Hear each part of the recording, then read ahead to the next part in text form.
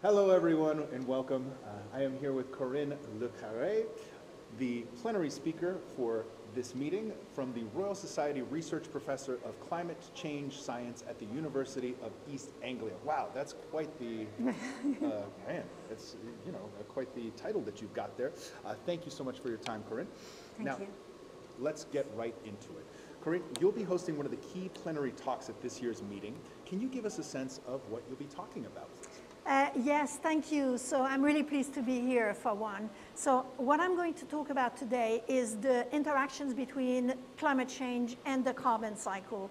I work really on contemporary climate change, so recent decades and a little bit into the future, but I'm going to try and put this in the context of longer term interactions between the Earth and uh, the climate. So this is going to include some uh, comments on what we know about the natural environment, but also comments on where we are with tackling climate change at the policy, uh, climate, climate policy level.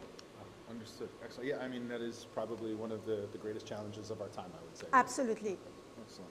Uh, not excellent, but I'm glad that you're looking Yeah. into it. Yeah. Yes. Now, in your experience, how has participating in conferences like Goldschmidt contributed to advancing your work in climate science? Oh, it's been really uh, tremendous, tremendously important to be at such conferences because this is where first, uh, in the run-up to the conference, you really bring your thoughts together. Where have I advanced? What, what do I have to say?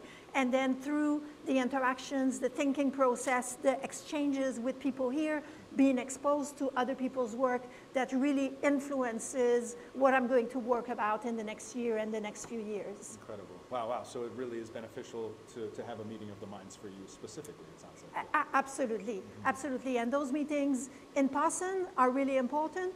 In virtually, uh, they add up as well. So a balance of the two is, uh, has been really fruitful, uh, in my opinion. Wonderful. Now, given the importance of your research in influencing climate policy internationally, how do you see events like Goldschmidt helping bridge the gap between scientific research and governmental action, as we were talking about? Uh, the interface between uh, scientists and policymakers is extremely important. Is one we're not used to deal with as scientists. is uncomfortable. We're really clearly out of our comfort zone. Uh, but I've learned to do it uh, through my career. And I like it that I can talk about uh, two scientists of my policy work, which I will do uh, this week at the Goldschmidt uh, conference.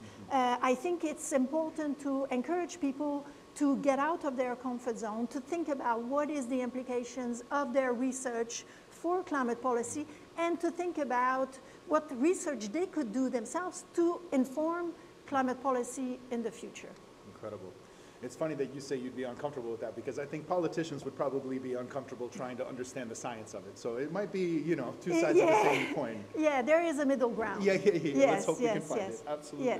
Uh, speaking of policy, uh, do you notice any changes uh, because the um, we currently in Chicago is the National Democratic Convention? Is there any Yeah. kind of layover or uh, overlap for you with that? Well, uh, uh, there's no direct overlap with the Democratic Convention, uh, but there is, uh, I mean, the uh, climate research community and the geophysical research community has been tremendously successful in uh, synthesizing uh, the common knowledge for delivery of support to policy making. I mean, climate policy is really extremely well developed. Uh, policymakers take it very seriously. This is actually one of the messages that I will be uh, saying in my talk is that I don't want to hear anymore nothing is happening about climate change. There is a lot of things happening about climate change. There is a lot of demand for sound scientific information. And I think the climate, uh, the scientific community, as wide as it is, steps up to the challenge.